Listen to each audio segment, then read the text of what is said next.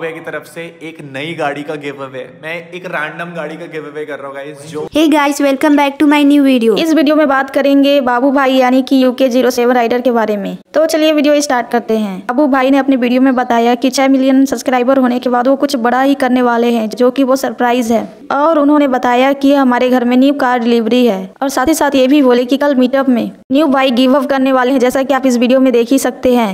ये याद रखना गाइस कि बाबू भैया जो प्रॉमिस कर रहे हैं ना, छह मिलियन का surprise is gonna make everyone emotional सब लोग बहुत इमोशनल होने वाले हैं मिलियन के सरप्राइज़ पर. एंड एक चीज़ और ऐसी और भी जानकारी के लिए हमारे चैनल को लाइक एंड सब्सक्राइब ज़रूर करें. Thank you